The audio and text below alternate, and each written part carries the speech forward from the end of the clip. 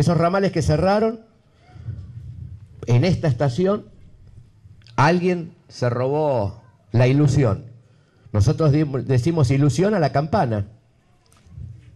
Se llevaron la ilusión de despedir ese tren que cada vez que partía con los compañeros y los ciudadanos de la localidad con la esperanza de regresar.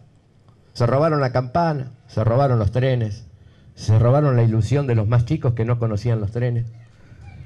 Y hoy es un granito nada más que lo que venimos a hacer como sindicato, a reponer esa histórica campana que vaya a saber en qué terminó o quién se la llevó.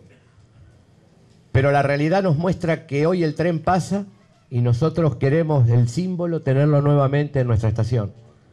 Esta estación que fue pionera en sus épocas cuando pasaban los trenes y se nos iban nuestros hijos, nuestros familiares, buscando nuevos horizontes hacia otro lado.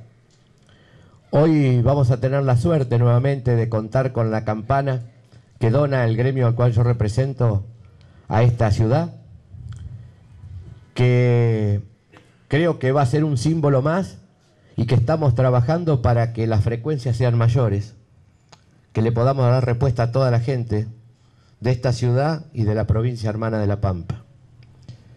Creo que se puede, creo que es posible.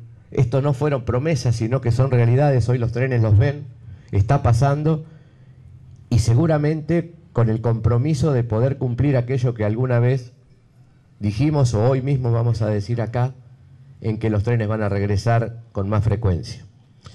Antes de descubrir la, campana, tengo que hacer una atención muy especial para la compañera Silvia Reyes, que hoy ha vuelto a ser ferroviaria, hoy está a cargo de la estación, próximamente ya van a poder expender sus boletos desde esta estación a todos los pasajeros, así que le invito a la compañera Silvia Reyes para hacer la entrega de un presente por la lucha incalzable que tuvo, tiene y seguramente va a seguir teniendo por los trenes.